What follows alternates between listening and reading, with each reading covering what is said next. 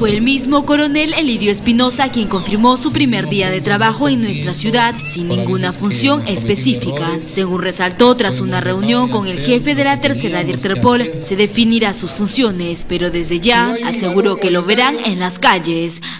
Todavía no, he conversado telefónicamente con el general minutos antes de venir acá, pero me voy a entrevistar posterior a, esta ceremonia y a la de la Plaza de Armas de la Municipalidad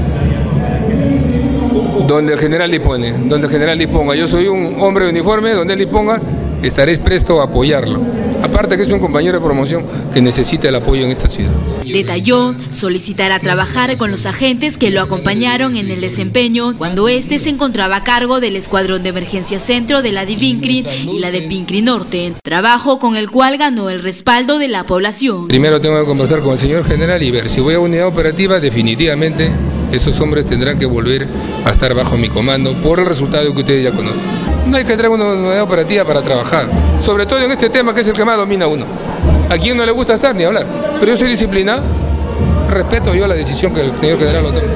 Así también mostró su satisfacción por la forma como se viene llevando el juicio en su contra. Esto en referencia a la actuación de los testigos de los presuntos asesinatos bajo su orden, cuales registraron una serie de contradicciones. Se está abriendo el túnel y yo he dicho siempre de que la verdad está en el expediente y que quienes tienen que quienes nos han acusado tienen que probar y ahí están las manifestaciones de sus pruebas. Lo demás, esperemos la parte final que llegue para decir misión cumplida. Estas declaraciones las otorgó tras recibir la condecoración de la Municipalidad del Centro Poblado El Milagro. Respecto al regreso de Espinosa Quispe, el burgomaestre de la ciudad también se pronunció. Claro, por su buena y fructífera labor al frente del comando de la Policía Nacional de Perú en la lucha contra la delincuencia. Y justo coincide dándole la bienvenida también, teniendo en cuenta de que a partir de hoy toma nuevamente el mando a nivel policial acá en La Libertad.